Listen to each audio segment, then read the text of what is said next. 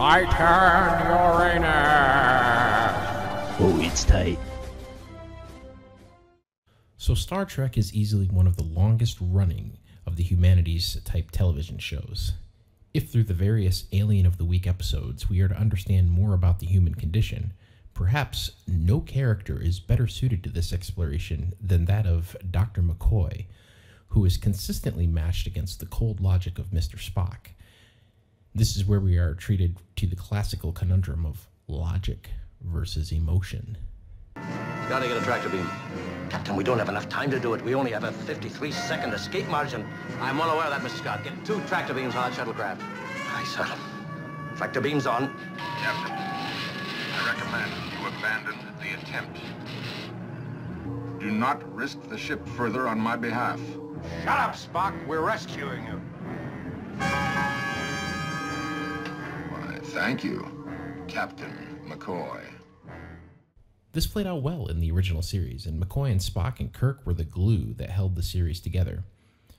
So when it came time for a new crew, the next generation came out, they seemed to wanted to add to this, more than just emotion versus logic. I mean, we had the logic aspects in Lieutenant Commander Data, uh, though where Spock was running from his human half, Data wished to embrace it and become more human. From you, Data, you are fully functional, aren't you? Of course. Oh, my.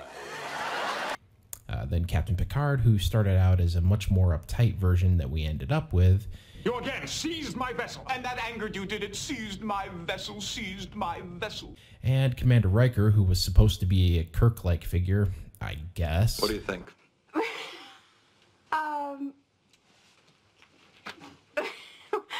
But when it came to what would eventually be considered the classic emotional human condition like McCoy represented in the original series, we had relatively nothing in the next generation.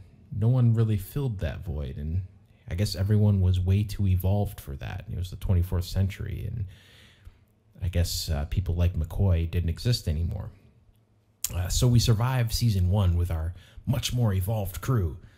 But lo and behold, a cast member change in season two. Now we have this lesser evolved, blunt, and often questioning of Picard's authority annoyance in the form of Dr. Pulaski. And I couldn't be happier. Compared to the blank slate that they later turned and the will they won't they crap of Beverly Crusher, Pulaski was a breath of fresh air. It does know how to do these things, doesn't it? though most people don't seem to realize it. It's okay though. I'm pretty sure most of those people are the ones that liked Voyager over Deep Space Nine anyway. One of the most cited complaints is that they don't like the way she treated Data.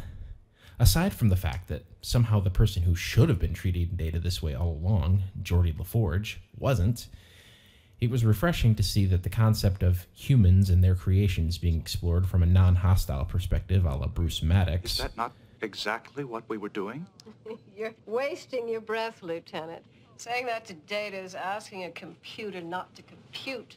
And let's not forget that there is only one Data, and he's been in Starfleet for 15 years. Most people have never talked to him or seen him, and some people are going to have a hard time treating a machine like a human. You know, it reminded me of how my grandmother approached using computers, simultaneously curious, but also dismissive, delightfully contradictory, a perfect representation of the complexity of human nature. Dr. Pulaski was a little old fashioned, but eager to learn, and never afraid of trying new things. She was actually warm, it's time. Oh, you bet it is. Let's get you to maternity. but flawed. A perfect contradiction to the cold perfection of today's most important person in the history of every universe ever focused Trek. This is what I love about Dr. Pulaski. She's real. In the episodes where she had to make medical decisions, her insistence on what was best for the patient, regardless of what command thought, reminded me of another, though better remembered doctor, that of Dr. Hawkeye Pierce. Lord, step. How dare you contradict me? Hey, hey, hold it. He's a commie. That's North Korean. What's he doing ahead of my buddy? Dying.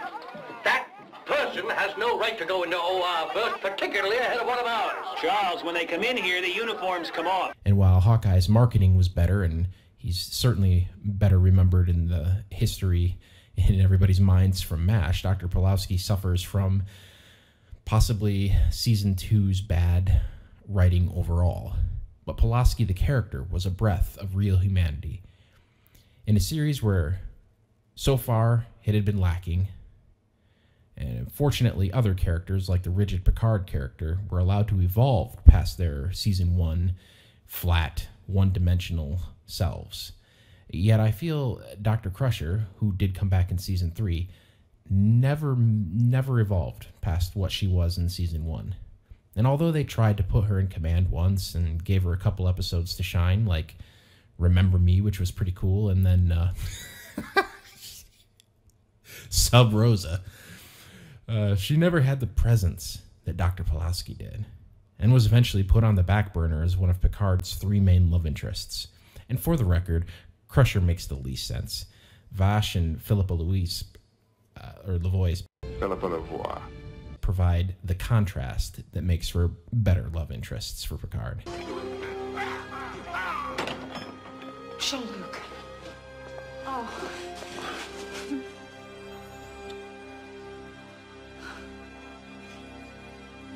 It's overkill! Get us out of here! And it's disappointing to me that Crusher had to come back because I think so much more could have been made of the Doctor character. Toward the end of her time on the series, her character really starts to shine and shows the best aspects of humanity. Unfortunately, people, and as I said, uh, theorized earlier, probably due to the quality of the season 2 episode material overall, looking at you, Shades of Grey, they often forget that she evolved. She initially had problems with data, but later becomes an actually fleshed out character in a much shorter time frame than it took most of them. It took Picard several seasons before we considered him a more fleshed out character. In the first first season, especially, he's just the dude in the command chair, uh, and we're still waiting for Riker to become a real person. What's a knockout like you doing in a computer-generated gin joint like this? But despite her, uh, despite Pulaski's initial uncomfortableness in her own skin around Data, she grew to understand him. Uh, she even encouraged him after he lo- uh, after he lost to uh, Kolrami in the game of Stratagema. Come in, please. All right, Data. Enough of this. Doctor, How long are you going to sit sulking like Achilles in his tent? I'm conducting diagnostics. You may be able to sell Troy that story, but not me. And you're smarting because you were beaten. Well, it happens. Uh, she eventually helped him to beat him, quote unquote, uh, at the Stratagema game. Uh, she, in one episode, uh, up the long ladder, she covers for Worf having the sniffles when he's embarrassed about it. Shall I live down this humiliation? Worf, you can't help. Still, for a warrior to find himself in such a situation. So you've got the Klingon version of the measles. How would Commander Riker feel if he had the measles? Pretty silly. Dr. Pulaski, how is Lieutenant Worf? He's in no danger. Uh, Worf was um, just observing a Klingon ritual involving fasting. And he didn't take into account that you have to decrease your physical activity as you decrease your caloric intake. Pulaski out.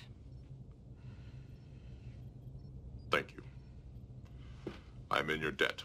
and she even risks her life to participate in a Klingon tea ritual, of which she knows about, but self-admittedly doesn't know the spirit behind it. So she's she's she's she's willing to partake in in something that's important to Worf, and is humble enough to admit that while she does know the the the physical uh, aspects of it, uh, the, the the rigid motions, she doesn't necessarily understand this the the spirit behind it, which is something that for a lot of people would be difficult to admit.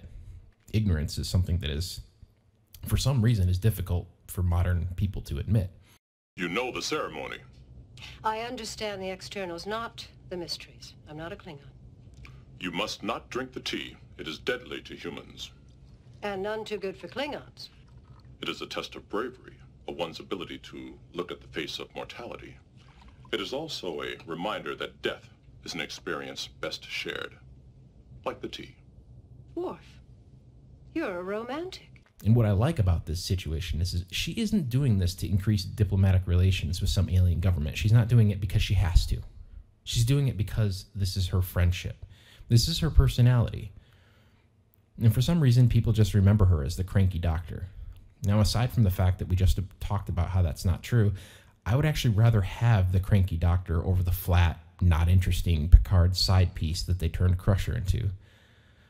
Pulaski gave us the kind of arc that we would later love in series like DS9. I don't remember anyone complaining about how mean anyone in that series was. Stakes are life and death, which makes it so much more interesting. I haven't had this much fun in years. My heart's pounding, the blood's racing through my veins. I feel so alive. And I wager, so do you. Pulaski was the best example of how a human from today could fit into the Star Trek universe. Much like McCoy before her, Jim, you can't risk your life on a theory. they proved that there will still be a place for the more in touch with their nature types in the future. Those of us who can't fake compliance or march to the tune of someone else's song. So we make an exception in the deaths of millions.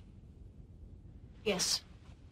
And is it the same situation if it's an epidemic and not a geological calamity? Absolutely. You know, the individuals rather than the collective homogenized personnel of the Federation. Most notoriously, the crew of the Voyager. Seriously, the hologram guy is the only interesting character. And this is why I think it was an absolute tragedy that Crusher made her return in season three. Dr. Pulaski was on track to keep the show way more interesting than just an Alien of the Week saga. They were so close to greatness with her character, a callback to the dynamic between Spock, McCoy, and Kirk that made the original series so spectacular. And sadly, we wouldn't see more three dimensional characters until DS9 made its debut. And come to think of it, Pulaski would have actually been a better choice than Bashir, too. a character so underdeveloped that they had to blame his lack of interesting things to do on him hiding his genetic engineering. Let's see. A radial geodesic in a 39 Cochrane warp field. Contracts normal space at a rate of... We have to get a full impulse 1.3 seconds before the bomb detonates. Dax? Computer agrees with Julian. Well, of course it does. They think alike. Anyway, I guess my point is Pulaski was way better than Crusher ever thought of being. But like the original series that bewildered the Bonanza crowd of the 1960s, her interesting personality and overall arcing character development was too far ahead of what Star Trek was ready for. And I fear with the nihilistic direction that Trek is heading, we may never actually get the chance again to explore the possibilities of a humanity where in the future we are at our best. My emotions are involved. Data's friend is going to die. That means something. To Data. Does that invalidate the emotion?